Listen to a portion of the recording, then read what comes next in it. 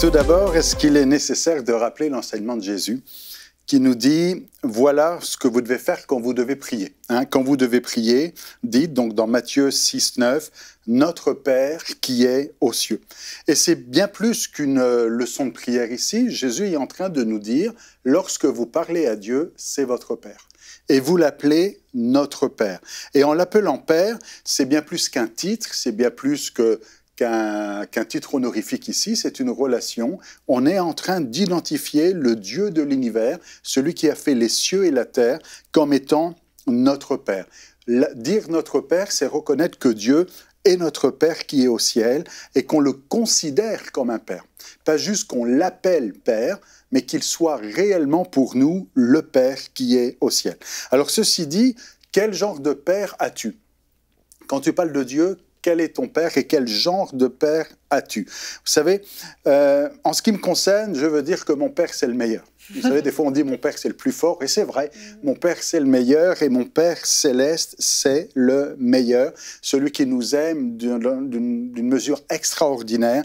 Et ce serait une erreur de croire et de vouloir comparer le Père céleste mm. avec le Père terrestres et ceux des humains. Mhm. Jésus dit dans Matthieu 7, Y a-t-il quelqu'un, et je lis dans la Bible en français courant, Y a-t-il quelqu'un parmi vous qui donne à son fils une pierre si celui-ci demande du pain Ou lui donne-t-il un serpent s'il demande un poisson Tout mauvais que vous êtes, vous savez donner de bonnes choses à vos enfants, à combien plus forte raison votre Père qui est dans les cieux donnera-t-il de bonnes choses à ceux qui les lui demandent?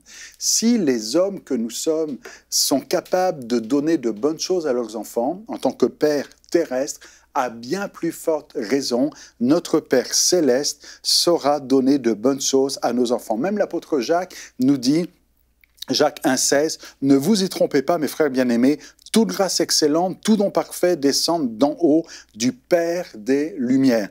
Et j'aime bien le ne vous y trompez pas. Jacques dit attention, il ne faut pas se tromper ici, il faut bien comprendre, ne vous y trompez pas, n'ayez pas une mauvaise théologie ou une mauvaise conception des choses tout don parfait vienne du Père.